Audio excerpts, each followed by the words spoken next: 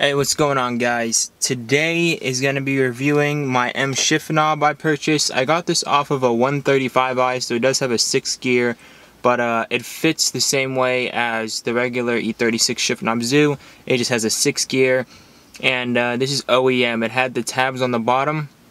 I don't know if you guys can see, I just cut them off. Uh, you know, easy as that. Just, you know, you can literally even break them off if you want to. I just uh, sanded it off so it would be flush and clean. Um, so basically, I had to replace my shift knob. You guys look at my shift knob, it's just very worn out. It's disgusting worn out, and it has wiggle room. I don't, that just is very, very uncomfortable when you're driving, and it comes out really pretty easy.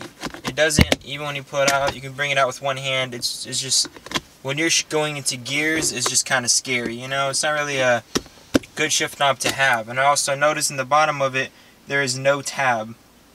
So yeah, that's why I decided to get the M shift knob. It's also shorter than this. So if you guys look at the comparison, it's it's a big difference, it's like height-wise.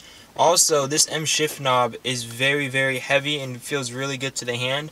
So all you have to do really is, like I told you guys, put it, I would put it just in neutral. You can put it down to a fourth gear or second gear and then just pull towards you. It's really not that hard. And then uh, I put on the new one. I usually like putting it back into neutral. Put the shift knob down give it a good punch, and you're good to go. It feels so much better. I did get to drive this when the car was running. Now the car is not running. I had this the day it broke down. I did not buy this afterwards. Trust me guys, my priorities are not like that. I have my priorities are straightened out. I got this before the whole car broke down and everything. So the difference is it feels so much better. Honestly, when I was driving, I was having so much fun. Um, it has no wiggle room.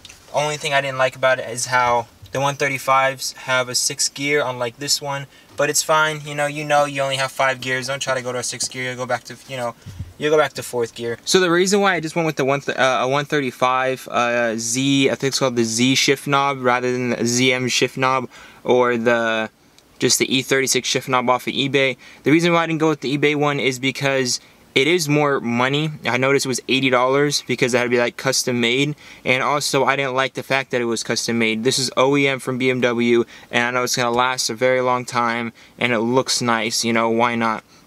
Now, I'm not saying you shouldn't go for the eBay one. I have a lot of friends that have the eBay one, and it feels quite similar, and, you know, it looks really nice, and it has five gears like the car, you know, is naturally, what naturally it has.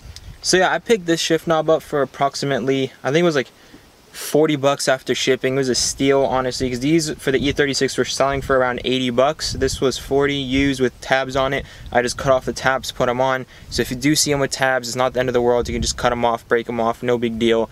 Um, so yeah, try to find one used, honestly. You can always clean them with leather cleaner or whatever, because this is made out of leather, same as the seats.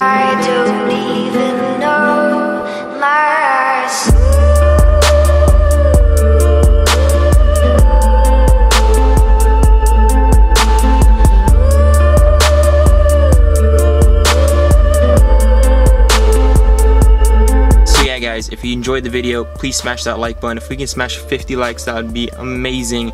And sorry for, for not uploading the past couple days. It's just a lot of things have been going on, and I, I know a lot of YouTubers say that, and it's stupid to say.